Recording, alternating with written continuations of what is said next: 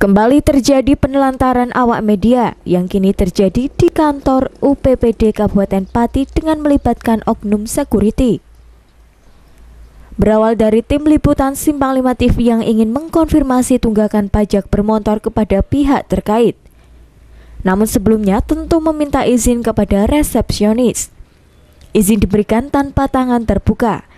Kemudian tim liputan Simpang 5 TV menunggu hingga satu jam lamanya tanpa disertai konfirmasi dari yang bersangkutan. Sangat ironi dan disayangkan bila hal ini terjadi kembali.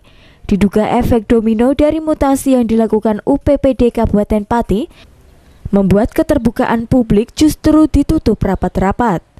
Oksan Nurajai Simpang 5 TV melaporkan.